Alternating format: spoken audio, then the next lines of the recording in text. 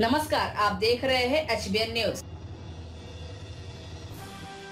बिहार के शिवहर जिला के विधायक मोहम्मद सफरुद्दीन ने चौहत्तरवे स्वतंत्रता दिवस पर समस्त शिवहर वासियों और जनता को हार्दिक शुभकामनाएँ दी है।